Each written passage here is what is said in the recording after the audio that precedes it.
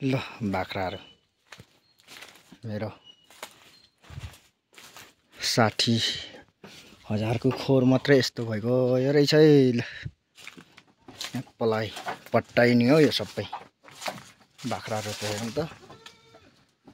साह्रै राम्रो राम्रो बाख्राहरू। अस्सी हजारको बाख्रा मरेर खत्तम भयो। अहिले छैन।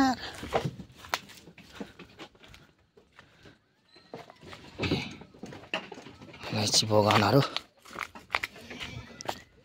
साह्रै राम्रो। पहिला यसरी कुदेर जान्थ्यौँ हामी यहाँदेखि। गोल खेल्नको लागि।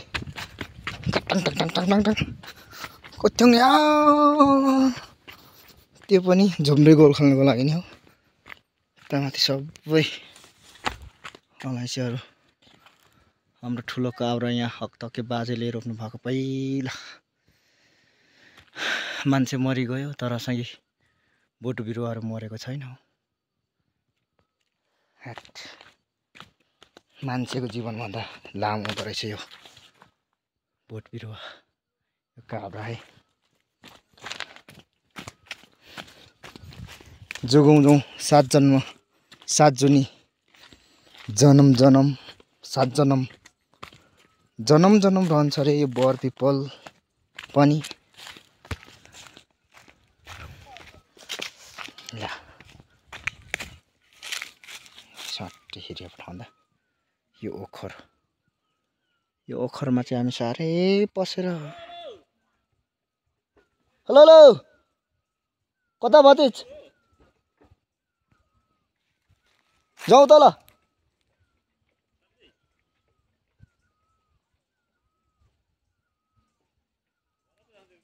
सुरेन्द्रको माउ हो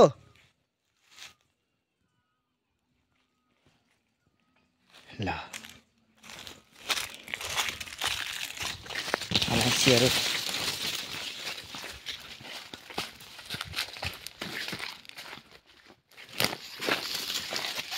ल आँटा।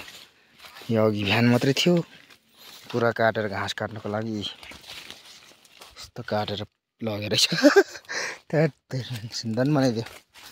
खोलालाई पनि। ए। यस्तो ओहो जङ्गल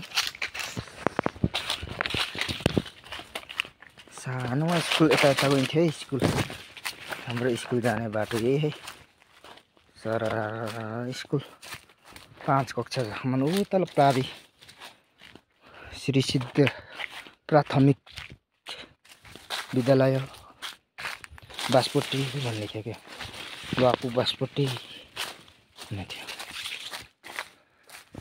पहिला यहाँनिर ठुलो अखरको बोट थियो। अहिले छैन। ड्याममै वन जङ्गल थिए। अहिले छैन। है? यहाँ ड्याममै। यहाँ ठुलो ओखरको ओखरको रुख थियो यहाँनिर। ठ्याक्कै त्यो पनि छैन। गयो। यहाँ थियो क्या यहाँ। यहाँ तल हाम्रो रोडहरू निस्किरहेछ।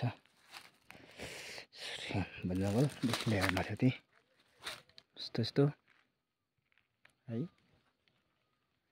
यस्तो यस्तो।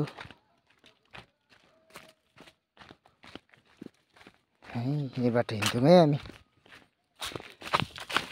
विद्यालय जानको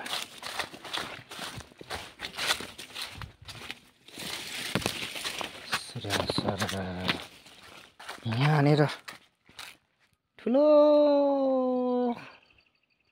ठुलो न ठुलो यहाँनिर के हुन्थ्यो? पानी आउँथ्यो क्या ऊ माथि छाँगे छाँगाबाट झर यहाँनिर हो पौडी खेल्नुपर्ने यहाँ बनाएर यहाँनिर।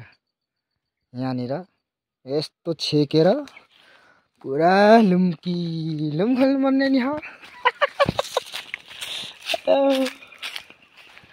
यहाँनिर ठुल्ठुलो लुक रुखहरू थिए। अहिले मजाले यो अलैँची बगान पुगेको रहेछ। यस्तो यस्तो। भएको छ है। हामी कुदेर जान्थ्यौँ है यसरी। यतातिर जान्थ्यौँ है। यसरी जान्थ्यौँ। अहिले यो रोडै थिएन पहिला।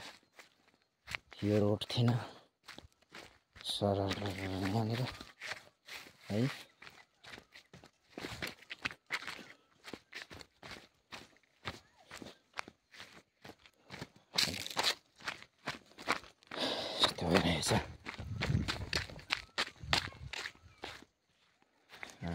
बारीहरू थियो यहाँ। माथि चाहिँ बारी सबै बारी थियो अहिले। बारीले पुरा वन जङ्गल बनाएको छ। यहाँनिर यहाँ ठुल्ठुलो। यस्तो देखिन्छ है।